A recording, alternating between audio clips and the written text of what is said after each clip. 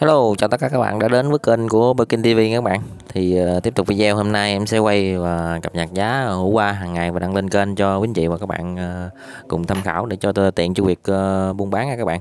Để uh, thương lái không có nhận giá mình. Thì um, quý anh chị và các bạn nào có trồng hũ qua hay là có uh, có trồng hũ qua có quan tâm đến giá hũ qua hàng ngày thì vui lòng nhấn đăng ký, nhấn chuông thông báo để xem video mới nhất về tình hình giá cả hũ qua và ờ, thường thì trên kênh em thì có cập nhật giá hoa qua giá bắp và giá ớt cho quý anh chị và các bạn cùng tham khảo. Thì quý anh chị và các bạn nào có ờ, quan tâm đến những mặt hàng trên thì vui lòng nhấn đăng ký ha nhấn chuông thông báo để xem video ờ, về tình hình giá cả của những sản phẩm trên để cho quý anh chị và các bạn dễ buôn bán hơn. Thì uh, quý anh chị và các bạn nào có bán hũ qua hay là có biết giá hũ qua ở đâu uh, uh, à, thì vui lòng bình luận bên dưới video để mọi người xem video sau có thể biết và tham khảo giá ở từng nơi các bạn. Thì quay trở lại tình hình giá hoa hiện hôm nay là ngày hôm nay là ngày 23 tháng 6 năm 2021 thương lái mua uh, tại ruộng uh, tại đất của uh, Úc ở đây ở Còng Châu Ma Hồng Ngự Đồng Tháp. Uh, giá dao động tầm khoảng từ 12.000 đến 13.000 đồng trên ký các bạn. Thì hiện tại giá hoa ở đây rất là sốt thì ờ, ở đây có mình đám đất của những Úc ở đây là trồng uh, hôm hoa thôi tầm khoảng bốn con mấy à. Thì uh, hàng ngày thì cách một ngày thì uh, út sẽ bẻ một cử là uh, cũng vài tấn. Thì nói chung là giá cả này thì ờ, bà con nông dân rất là phấn khởi các bạn. Đối với việc trồng hàng bông như hữu qua hiện tại thì giá cả như vậy bà con rất là uh, phấn khởi và vui. Thì uh, hy vọng là giá cũng uh, ổn định như vậy để cho bà con nông dân mình uh, hàng ngày được uh, thu hoạch và uh, bán được giá cao như vậy cho bà con nông dân uh, uh, đỡ uh, chút nào. Thì uh, thường thì à, thương lái mua tại à, tại ruộng à, và giao lại cho các hàng chợ, hàng đi các tỉnh đó các bạn.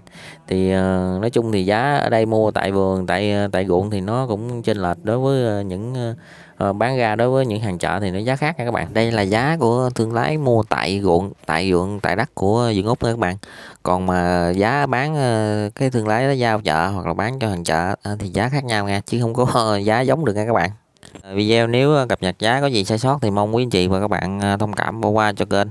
Thì của video thì cũng ờ, thân ái chào tất cả các bạn. Hẹn gặp các bạn trong những video clip tiếp theo.